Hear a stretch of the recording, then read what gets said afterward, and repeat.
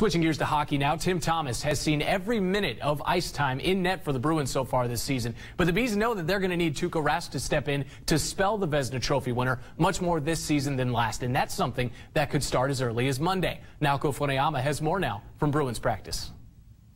While Tim Thomas delivered his usual performance against the Lightning on Saturday, Tuukka Rask continues to wait in the wings for his turn. The Bruins have said from the start that they expect Rask to carry a heavier workload this season.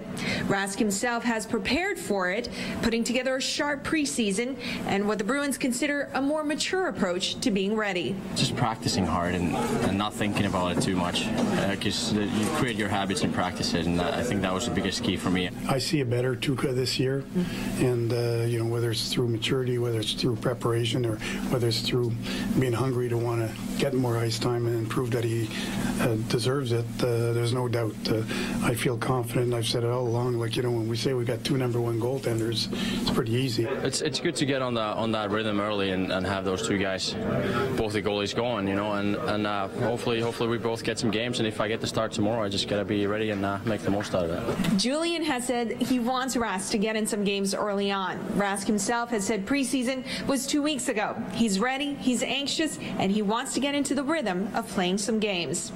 In Boston with the Bruins, I'm Naoko Funayama for NESN Daily.